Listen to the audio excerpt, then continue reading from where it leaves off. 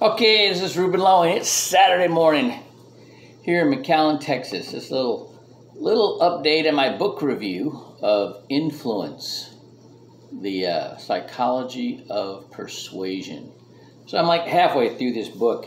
What's really funny is it talks about using humor.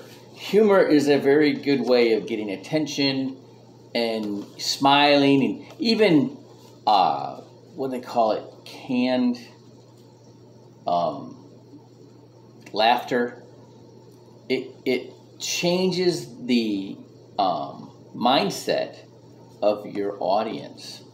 Right? It makes them more positive, makes them more receptive, which is really interesting because as I'm reading in this book, my wife was watching the uh, internship, which was with uh, um, well, that actor Vaughn, get his first name, and uh, Ian um, Wilson, and they were using exactly that strategy with the team in the movie.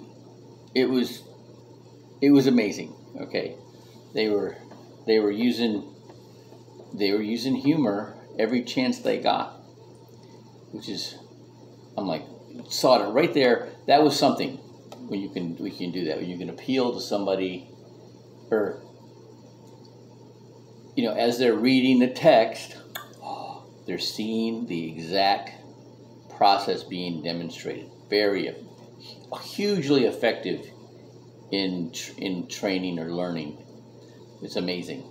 So I would I would um, I'm to wrap my brain around that and figure out how to implement that in our training. I, I last night, oh gosh, I can't remember his name. He's up in Houston. He did the um, the training last night for the uh, Finance Friday, and he just does an excellent job. He just, uh, I feel bad that I can't remember his name, and it's a. Uh, you know, at the same time, and they, they also had faster. I've had somebody I hope I was hoping to get on. They didn't tune in, but I promoted it again. Um, to um, that's next Friday, and they do it every Friday, and uh, the Fast Start Friday, and they do a very good job of covering compensation on Fast Start Friday. We are uh, we're going to have our training here coming up in about an hour, and uh, I'm got my get ready to take my notes.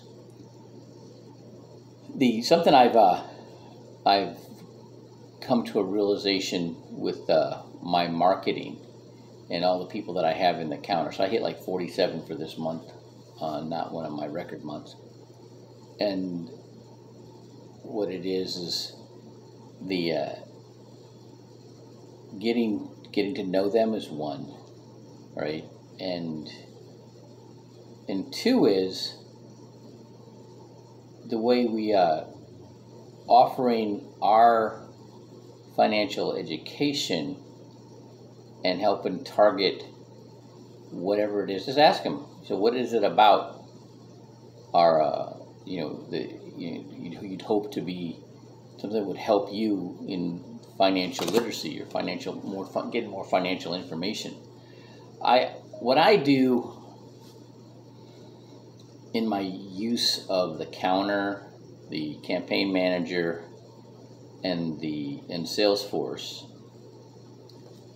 when you when you put them in the count, you know, the counter, you got to the same time you put them in the counter, you got to put them in Campaign Manager, um, and then the Campaign Manager just instantly this automatically puts them in Salesforce. Now you can track when you send out invitations or, or whatever. You can tell tell if they've opened the email or not, and then in the campaign manager, there's this, the, the notes you can use as a conversation log, and that always helps picking up that conversation the next time around. They're always very receptive when you call them and follow up. Most of the time, they, most of the time, ninety percent of the time, they haven't looked at the Saving Your Future book that you email them.